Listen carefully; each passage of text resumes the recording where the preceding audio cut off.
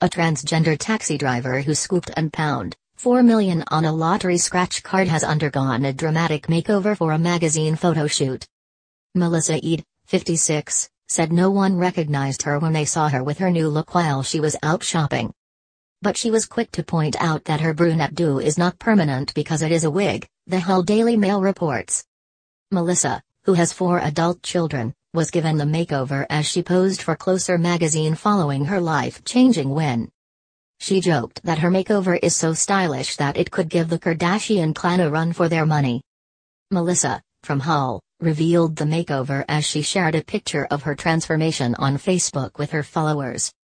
She said, It's mixed reactions between how lovely I look and others are like, you can't do that, it's not the Melissa Ede we know.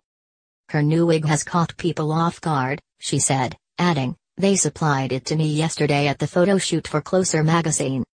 It's for an article Closer is doing on me and they decided to give me a before and after makeover and that is how my hair and face ended up afterwards. Melissa, who admits she enjoys the media attention, said she is not sure if the new look is for her after nobody recognized her when she went out shopping.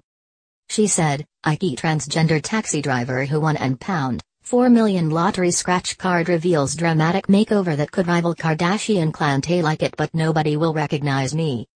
Afterwards, I went back to my partner, Rachel, Nazen, and there was something she needed from town and I still had the wig on and nobody recognized me. It was unlike the reactions she has received elsewhere in town.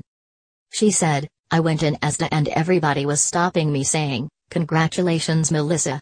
We went in Morrisons the other night and it was the same in there.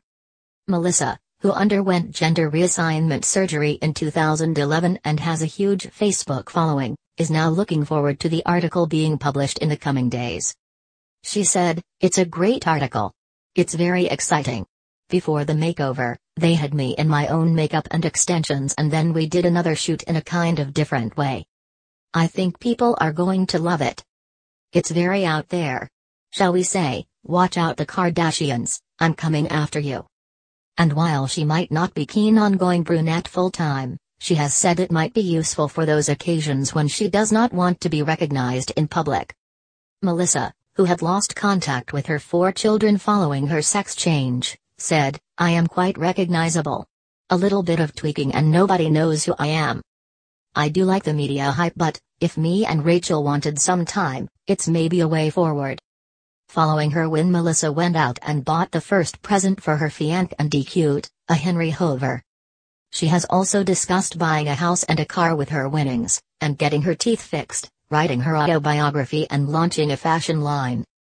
She also vowed to use her lotto win as a platform to help other LGBT people facing discrimination and abuse.